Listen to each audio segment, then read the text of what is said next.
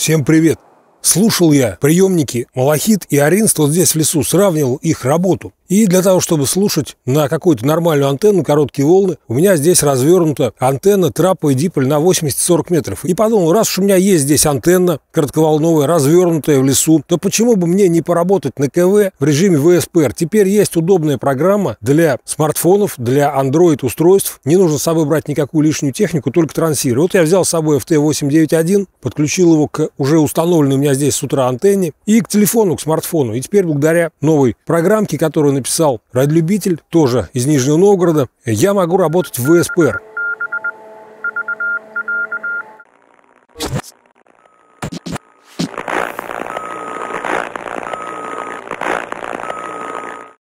Сейчас эта программа у меня запущена на телефоне уже некоторое время, и к ней подключен трансивер низкочастотным кабелем. Кабель простейший, только емкости разделительные содержит, и резисторы, ослабляющие уровень сигнала. ВОКС уже есть в самом трансивере FT891, в отличие от маленького FT817, 891 все есть, сам он включается на передачу. Мощность на трансивере установлена минимально возможная для этой модели 5 Вт и питание от литий-фермной батарейки емкостью 10 ампер часов. Программа работает и на прием, и на передачу. Соответственно, я здесь при отсутствии помех в лесу услышал много разных станций в режиме ВСПР. Ну и меня тоже какие-то станции, я надеюсь, услышали. На сайте все это можно посмотреть.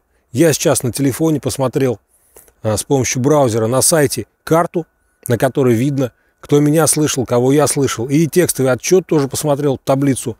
Тоже в ней прекрасно все видно, как отработала система ВСПР. Почему мне нравится именно система ВСПР? Потому что, во-первых, она работает независимо от человека, не требует участия человека. Во-вторых, она, можно сказать, работает параллельно. Все станции работают одновременно. То есть, например, сейчас, если мой трансивер здесь излучал ВСПР передачу, то все станции в мире вообще, которые включены на этот диапазон, на котором я передавал, если они меня услышали, то они все передают эту информацию сразу же на центральный сервер. И на сайте можно посмотреть уже через две минуты, кто меня слышал.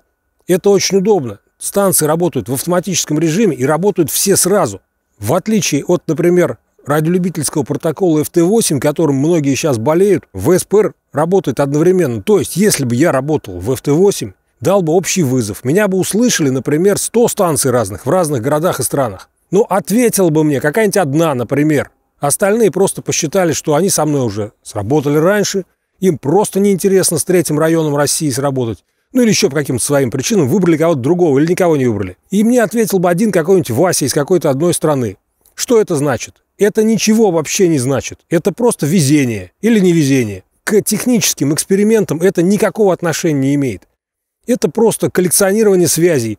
Как говорится, запись в логе. То есть с кем вы сработали, тех записали. Кто захотел с вами сработать, он вас тоже, так сказать, услышал, ответил и записал в лог. К технике, к экспериментам с радиосвязью, с антеннами, с прохождением это не имеет никакого отношения. Это коллекционирование связей в лог FT8. В СПР нет такой зависимости от человека. То есть, если мой сигнал приняла какая-то станция в СПР, то человек там не принимает решение, записать меня в лог или не записать, сработать со мной или не сработать. Станция принявшая мой сигнал, автоматически сообщит об этом на центральный сервер. На мой взгляд, это как раз и есть уже эксперимент о прохождении, о радиосвязи, об антеннах. Я могу сейчас, например, антенну поднять выше или опустить ниже и проверить, какие станции меня будут слышать. Мне не нужно людей просить, чтобы они меня послушали. Эти станции в автоматическом режиме работают всегда.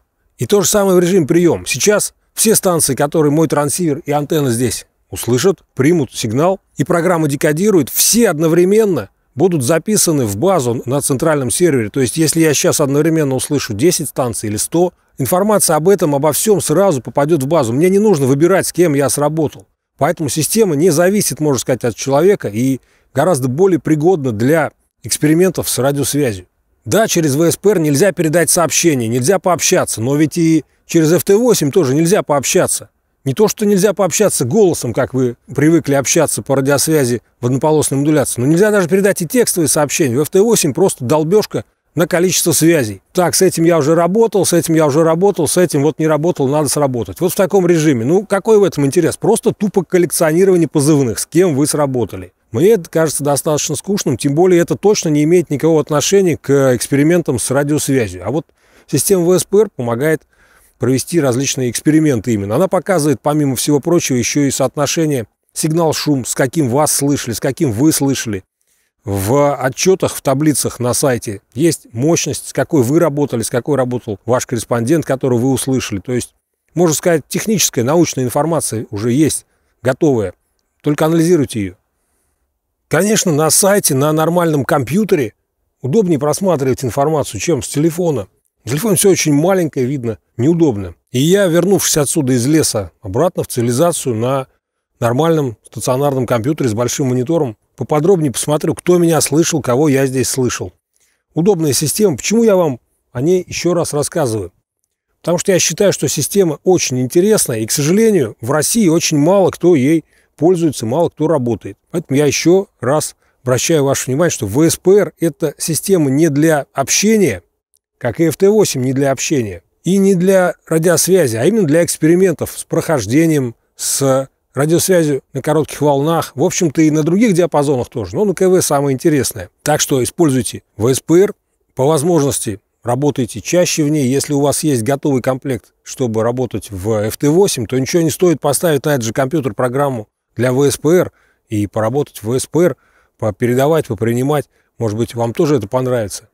Конечно, выделить отдельную радиостанцию или хотя бы приемник с компьютером или хотя бы даже со смартфоном для того, чтобы он круглосуточно где-то работал в режиме приемника ВСПР с доступом в интернет.